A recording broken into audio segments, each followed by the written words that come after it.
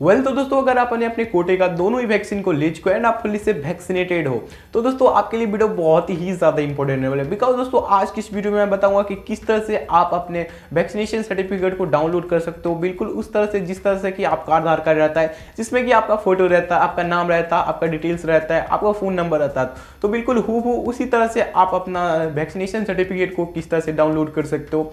तो वीडियो आपके लिए बहुत ही ज़्यादा इंपॉर्टेंट होने वाली है। उससे पहले बस एक ही चीज़ आपसे रिक्वेस्ट करूँगा वीडियो को आप मिस मत करना। अगर वीडियो को मिस करोगे तो आप सही तरीके से अपने एक फुली से वैक्सीनेटेड सर्टिफिकेट को डाउनलोड नहीं कर पाओगे, जिस तरह से आपका आधार कार्ड वगैरह है तो उस तरह से आप नहीं कर पाओगे। तो चले करते वीडियो को फटाक start without wasting a second तो दोस्तों, मैं सिंपली से को अपने फ़ोन के होम स्क्रीन पे चलिए नेक्स्ट देखते हैं हम किस तरह से आधार कार्ड के जैसे अपने वैक्सीनेशन सर्टिफिकेट को डाउनलोड कर सकते हैं। उसके लिए आपको करना क्या होगा? सबसे पहले आप गूगल को ओपन कर लो, या फिर आप क्रोम ब्राउज़र को भी ओपन कर सकते हो। तो मैं यहाँ पर गूगल को ओपन कर लेता हूँ।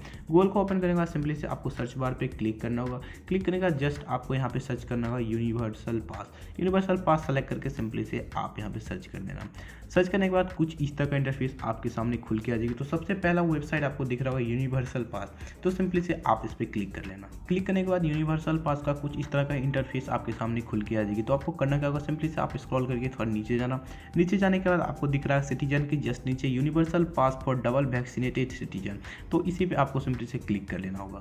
क्लिक करने का नेक्स्ट दोस्तों, कुछ इस तरह का इंटरफेस आपके सामने खुल के देता है। जस्ट नीचे आपको दिख रहा होगा मोबाइल नंबर तो यहाँ पे दोस्तों, आप वो मोबाइल नंबर डालो, जिस समय दोस्तों आपने अपना वैक्सीनेशन के लिए सीट वगैरह स्लॉट वगैरह बुक किया था तो जो नंबर आपने दिया तो सिंपली से वही सेम नंबर आप यहाँ पर एंटर कर दो। नंबर एंटर करने के बाद सिंपली से आपको दोस्तों यहाँ पे सेंड ओटीपी का ऑप्शन दिख रहा है। सिंपली से आप इस पर क्लिक कर करना एंड जो भी नंबर आपने डायल इंटर किया है, यहाँ पे सिंपली से वहाँ पे आपको एक ओ टी आएगा। तो सिंपली से यहाँ पे आप नीचे इंटर ओटीपी सेक्शन में आप वो ओटीपी को एंटर कर दो।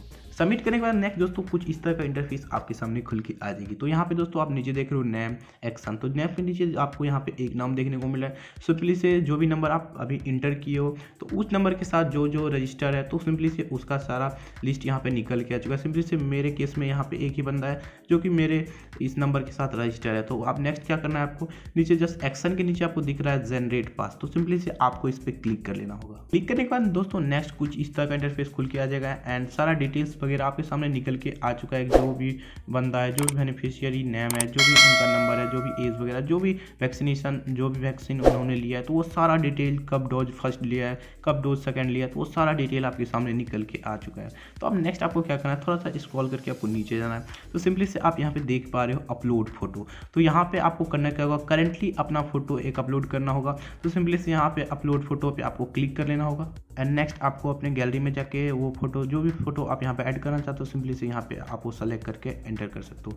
दोस्तों, एक मैं बता दूँ दोस्तों, यहाँ पे आपको दो चांस ही मिलेगा। अगर आप गलती से कुछ दूसरा फ़ोटो या गलत फ़ोटो अपलोड कर देते हो, यहाँ पे टोटली आपको दो ही चांस देखने को मिलेगी।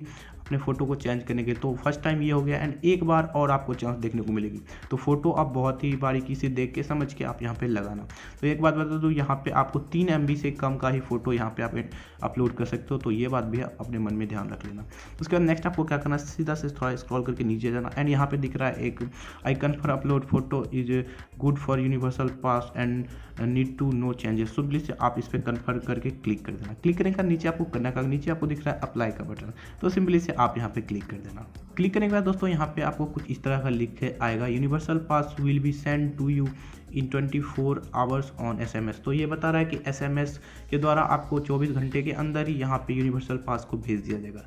बट दोस्तों, मैं हूँ ना मैं आपको बताऊँगा कि इस तरह से अभी आप करेंटली तुरंत ही अपने यूनिवर्सल पास को ले सकते हो फ़ोटो के साथ। तो सारा चीज़ें मैं बताऊँगा। तो उसके लिए आपको करना है? सिंपली से इस पर आपको ओके कर देना है।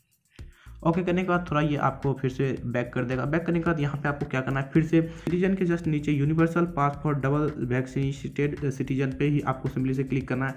एंड सेम आपको यहाँ पे वही नंबर डालना है जिस नंबर के साथ अब यहाँ पे लॉग इन किया था। नंबर रिटर्न करने के बाद सिंपली से, यहाँ पे आप सेंड ओटीपी कर देना एंड जो भी ओटीपी आपके मोबाइल लगेगा फिर से आप यहाँ पे सिंपली से ओ इंटर करके नीचे सबमिट का बटन दिख रहा है, सिंपली से आप वो क्लिक कर देना। सबमिट करने के बाद यहाँ पे दोस्तों आपको फिर से देखने को मिल रहा है, फिर से आप उसी इंटरफेस पे आज को सिंपली से आपको क्या करना होगा, यहाँ पे एक्शन के जस्ट नीचे आपको दिख रहा है व्यू पास तो सिंपली से आप यहाँ पे क्लिक कर देना। क्लिक करने के बाद यहाँ पे देख रहे हो फीचिंग पास डिटेल तो सिंपली से आप देख सकते हो कि आपका यूनिवर्सल पास डाउनलोड हो चुका है। यहाँ पे आप देखते हो एंड सिंपली से आपको जस्ट स्क्रॉल नीचे करना है एंड स्क्रॉल करने के बाद सिंपली से यहाँ डाउनलोड का बटन दिख रहा है। सिंपली से यहाँ पे आप क्लिक करके यहाँ पे अपना गैलरी में इस यूनिवर्सल पास को डाउनलोड कर सकते हो, आपको कोई भी प्रॉब्लम नहीं आएगी।